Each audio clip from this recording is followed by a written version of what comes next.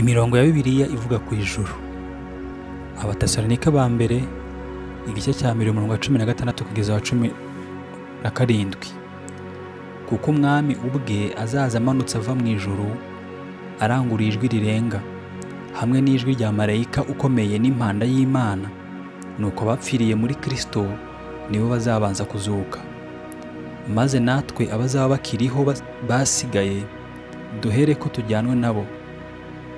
Tuzamuwe mu bicu gusanganira umwami mu kirere. Nuko rero tuzabana n'umwami iteka ryose.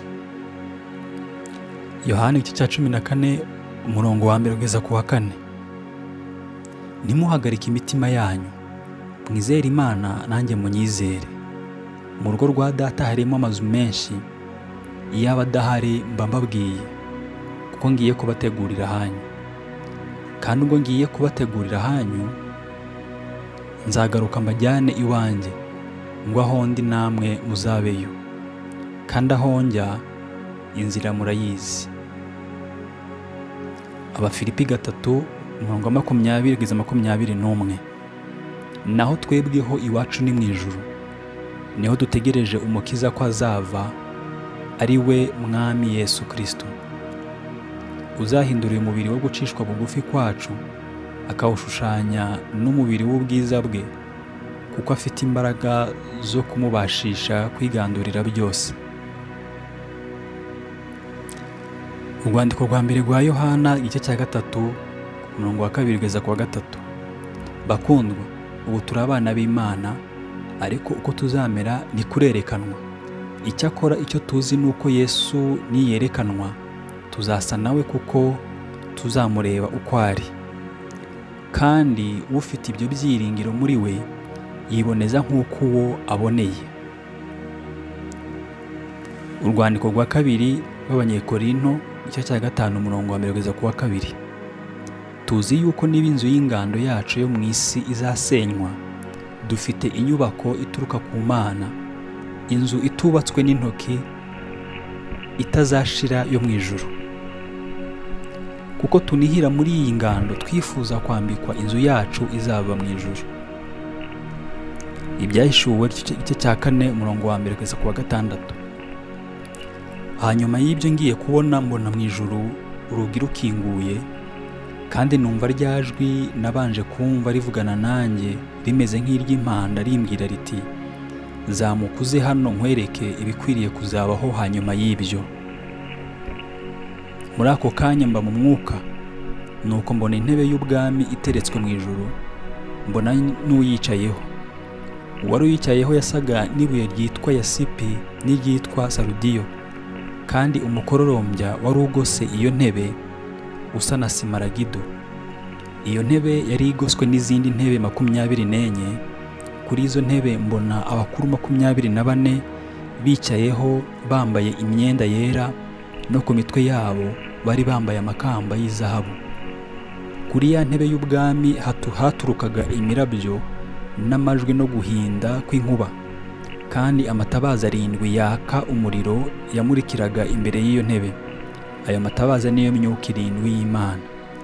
Imbere y'iyo ntebe hariho igisa n'inyanja y'ibirahure isa n'isarabwayi. Kandi hagati y'iyo ntebe no kuyizenguruka hari ibizima bine byuzuye amaso imbere n'inyuma. Ibyahishuwe makumyabiri na rimwe umurongo wa mbere kugeza ku wa karindwi. Mbona ijuru rishya n'isi nshya kuko ijuru rya mbere n'isi ya mbere byari byashize n'inyanja yari itakiriho. Mbona ururembo rwera Yerusalemu nshya rumanuka ruva mu ijuru ku mana rwiteguwe nk'uko umugeni arimbishirizwa umugabo we. Numva ijwi rirenga rivuye kuri ya ntebe rivuga riti dore ihema ry'imana riri hamwe n'abantu kandi izaturana nabo nabo bazaba abantu bayo kandi imana ubwayo izabana nabo iba imana yabo. Izahanagura amarira yose ku maso yabo kandi urupfu ntiruzabaho ukundi. Kandi umuborogo cyangwa gutaka cyangwa kuribwa ntibizabaho ukundi kuko ibya mbere bishize. Iyicara kuri ya ntebe iravuga iti dore byose ndabihindura bishya kandi iti andika kuko ayo magambo ari ayo kwizerwa ni ay'ukuri kandi iti birarangiye. Ni igihe arufa na omega itangiriro n'iherezo. Ufite inyota nzamuhera ubuntu kunywa ku isoko y'amazi y'ubugingo. Unesha azaragwa byose nanjye nzaba imana ye nawe aba umwana wanjye. Ibyahishe makumyabiri na kabiri murongo wa mbere kugeza ku wa gatanu. Anyereka uruzi rw'amazi y'ubugingo rubonerana nk'isarabwayi ruva ku ntebe y'imana n'umwana w'intama. Rutembera mu nzira nyabagendwa hagati hakurya no hakuno y'urwo ruzi hariho igiti cy'ubugingo cyera imbuto z'uburyo cumi na bubiri cyera imbuto z'uburyo bumwe bumwe uko ukwezi gutashye. Ibibabi byacyo byari ibyo gukiza amahanga. Nta muvumo uzabaho ukundi ahubwo intebe y'imana n'umwana w'intama izaba muri urwo rurembo kandi imbata zayo zizayikorera zizabona mu maso hayo izina ryayo ryanditswe mu ruhanga rwazo.